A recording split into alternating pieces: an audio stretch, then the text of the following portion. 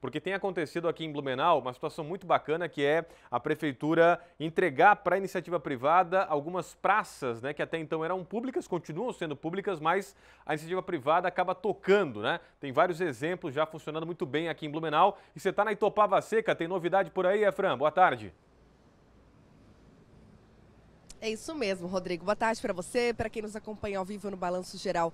Blumenau, dia de sol, dia bonito aqui na cidade, né? Olha, a gente quase não vê nuvens nessa área aqui do céu. O sol também está esquentando, está bem gostoso. E aí a gente aproveita para falar aqui do bairro Itopava Seca sobre essa concessão à iniciativa privada que a prefeitura lançou hoje, portanto a licitação dessa que é a Praça dos Músicos Alfredo Ering. É a Praça das Gaitas, como muita gente conhece, né? A praça que ela, na verdade, já está aberta para a população há muito tempo, com parquinho, área para as crianças, né? Área também para pets tem bancos, tem quadra, então assim, realmente uma área que já está disponível para a população, muito utilizada, inclusive nos finais de semana, e agora a prefeitura então vai abrir essa concessão para, é, na verdade, exploração de serviços atividades alimentícias. A ideia é a seguinte: a empresa que vencer né, este edital de concessão vai ser responsável pela construção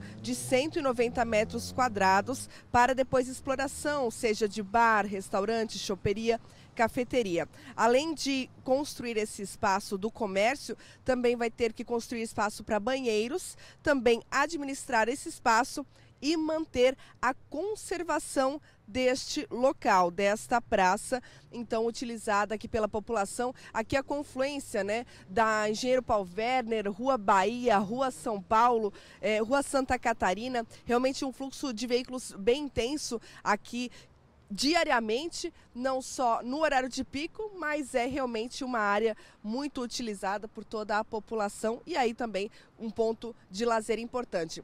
Essa concessão, viu, Rodrigo, ela vai funcionar por 110 meses. Isso totaliza nove anos e dois meses, então, para o vencedor que tiver, então, for vencedor desse edital. Os envelopes dessa concessão vão ser abertos no dia 22 de setembro. Então, mais ou menos aí um mês aberto esse edital de concessão para iniciativa privada desse espaço, dessa praça aqui em Blumenau, no bairro Itopava Seca.